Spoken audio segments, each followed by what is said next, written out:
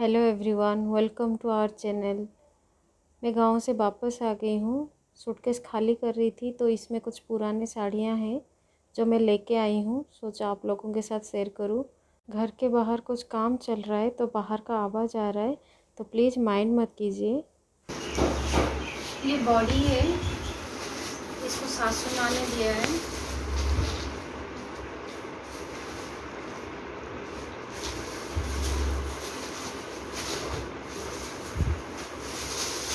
ये आम का अक्षर ये भी सासू माँ ने दिया है। डब्बा भर के। और ये इसमें मेरी साड़ियाँ हैं, जो मैं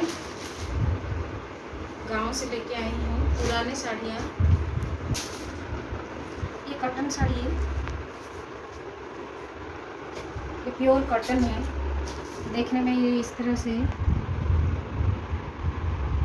इसको मैं गाँव में एक दिन पहन लिया था। मुझे अच्छा लग रहा था, बहुत ज़्यादा अच्छा लग रहा था। ब्लैक कलर है, कॉटन है। बहुत अच्छा लग रहा था, ये बहुत स्मूथ है। बहुत स्मूथ है, इसकी डिज़ाइन अंदर भी अलग है। इस तरह से इसकी डिज़ाइन है। इस तरह से इसकी पल्लू है। ये इसकी पल्लू है। और ये इसकी बॉडी है। इस तरह से। ये भी कॉटन साड़ी है।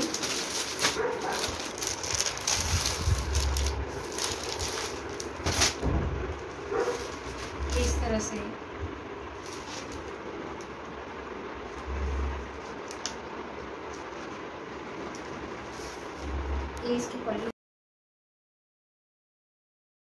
बहुत अच्छे अच्छे डिज़ाइन है, बहुत अच्छा लगता है। दूर से बस दिखा रहे हैं। हम थोड़ी साड़ी में आगे डिज़ाइन कर रहे हैं।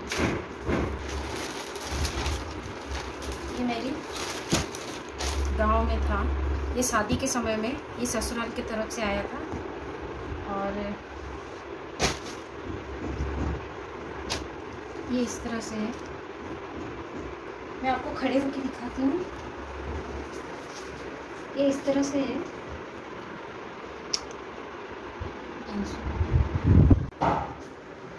ये साड़ी, इसका पल्लू इस तरह से है। ये साड़ी ये मेरा शादी का साड़ी है। शादी के दिन मैंने इसको पहना था।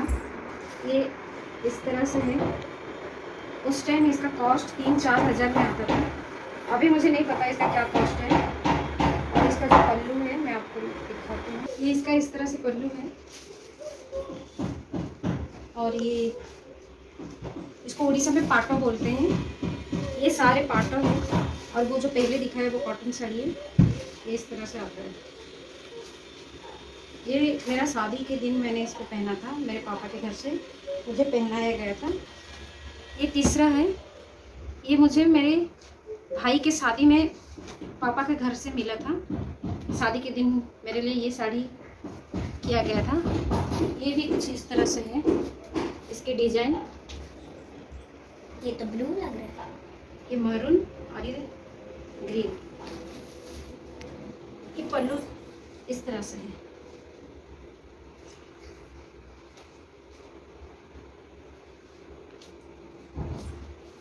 अब मैं ये सब दिल्ली लेके आई हूँ सबको ड्राई क्लीन करूँगी। सब गंदे पड़े हैं इसमें छोटे छोटे दाग बन गए हैं क्योंकि इतना साल से पड़े हैं कम से कम आठ आठ से दस साल हो गया मुझे ये सब मैंने ऐसे ही आलमारी में पड़े थे फिर मैं लेके आई। ये तीसरा साड़ी है। चौथा। ये मेरी दीदी ने मुझे दिया था मेरी बड़ी दीदी ने। इसका पल्लू इस तरह से है। और इसका बॉडी ये बॉडी है और ये इसकी पल्लू इस तरह से। ये थोड़ा इन साड़ियों से थोड़ा सा ये सस्ता है। ये कम से कम उस टाइम टू थाउज़ेंड में आया था। अभी का क्या रेट है नहीं पता, ये भी कम से कम चार पाँच साल से ये पड़े थे। ये सबसे ख़ास साड़ी है, ये मेरे दिल के करीब है, क्योंकि ये मेरी मम्मी की साड़ी है। और एक आखिरी निशान मेरी मम्मी की मेरे पास है, जो बहुत दिन पहले उन्होंने मुझे दे दिया था। कि बेटा मैं ये अब नहीं पहन पाऊँगी, क्योंकि मैं बीमार पड़ गई।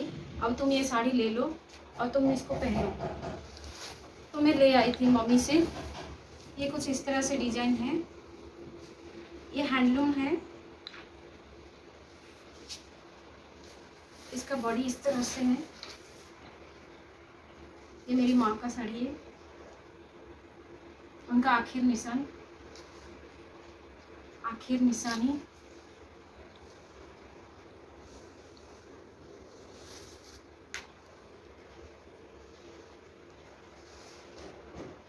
ये ये मैंने ऑनलाइन मंगाया था, मेरे भाई की शादी में। ये ब्लाउज इस तरह से है और ये साड़ी।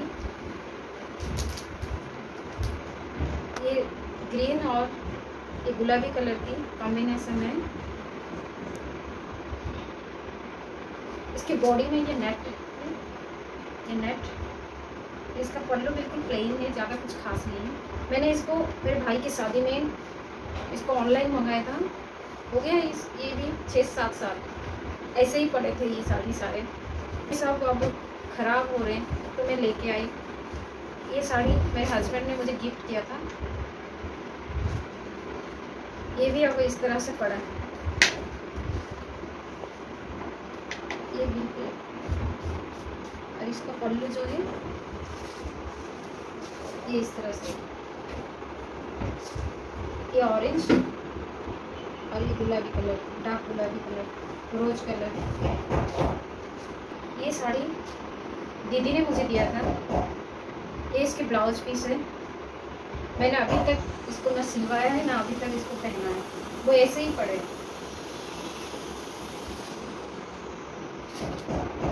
ये कुछ इस तरह से है। और बीच में ये जॉइंट है। ये नेट से जॉइंट किया है लेस एक लेस डाल के। यहाँ पे दोनों जॉइंट ये बॉडी कुछ इस तरह से, ये कुछ अलग है। अच्छा है, साड़ी बहुत अच्छा लग रहा है मुझे। जब से दीदी ने दिया है, ऐसे ही मैंने रख दिया था गाँव में। क्योंकि हस्बैंड यहाँ आने नहीं देते। उनको बेकार लगता है, जब पहनना नहीं है, क्यों इतना भर भर के लेके जाना है? क्योंकि हम लोग इतना दूर से आते हैं। लॉगेज ज़्यादा हो जाता है और प्रॉब्लम होती है ट्रेन में सब कुछ लेके आना। अब मैं जिद करके लेके आई क्योंकि साड़ियाँ ख़राब हो रही और इतने महँगे महँगे साड़ियाँ हैं तो इनको सबको ड्राई क्लीन करके रखना है। और ये उससे भी ज़्यादा पुराना। ये सब शादी का साड़ी है। ये शादी के समय की साड़ी है मेरी शादी को सत्रह साल हो गया ये सत्रह साल कम से कम पंद्रह सोलह साल पुराना साड़ी। ये इस तरह से है। इसका पल्लू इसका पल्लू इस तरह से है। और जो इसका बॉडी इस तरह से है। ये प्योर कॉटन का है और बहुत स्मूथ है।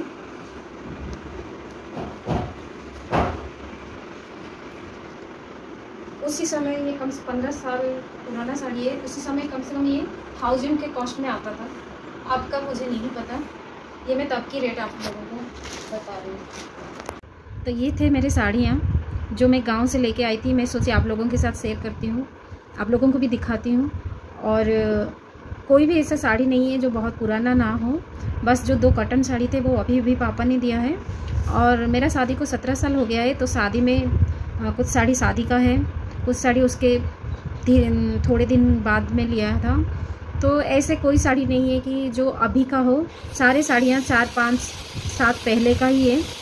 और अलमारी में गाँव में ही पड़े थे। यहाँ हस्बैंड लाने नहीं देते क्योंकि पड़ा रहता है और लाने में भी मुश्किल होता है ट्रेन में आना। और, वैसे आने जाने में लॉगेज तो वैसे भी बहुत ज़्यादा होता है तो ये साड़ियाँ वो कभी लाने नहीं देते। और जब पहनना ही नहीं है तो क्यों इसको लेके घूमना है? तो अभी मैं जिद करके लेके आई, मैं बोली, ये सब देखो किस तरह से दाग बन गए हैं, ये ख़राब हो रहे हैं, इतने अच्छे अच्छे साड़ियाँ हैं। और आगे मुझे ये सब मेरी मेमोरी शादी की कुछ, शादी की मेमोरी कुछ मम्मी की चीज़ें हैं। तो ये बहुत मेरा दिल के करीब है। तो इनको तो मैं लेके जाऊँगी और मेरे जीवन भर इन साड़ियों को मैं रखूँगी। कोई सुन के मेरी बातें हंस रहा होगा कि दीदी कैसे बोल रही है। तो मुझे अच्छा लग रहा है कि और ये साड़ियों को देख के बहुत खुशी महसूस भी होती है मुझे। अपनी पुरानी चीज़ें, कुछ चीज़ें ऐसे होता है, पुराना चीज़ें आप जितना भी देखो आपको नया ही लगता है। तो वैसे ये इस तरह से है। तो अभी मैं ये लेके आई हूँ इसको चार पाँच दिन धूप में डालूँगी, फिर ड्राई क्लीन करके इसको संभाल के रखूँगी आगे के लिए। साड़ी पहनने के लिए बहुत मन तो करता है, लेकिन घर का काम की वजह से नहीं पहन पाती हूँ और संभालना बहुत मुश्किल होता है। कैसे लगी मेरी साड़ियाँ, आप प्लीज़ कमेंट करना। और इसमें से कौन सा आपको सबसे ज़्यादा अच्छा लगा प्लीज़ ज़रूर बताना। और आज का वीडियो मैं यहीं एंड करती हूँ। आप खुश रहिए, सबको खुश रखिए। बाय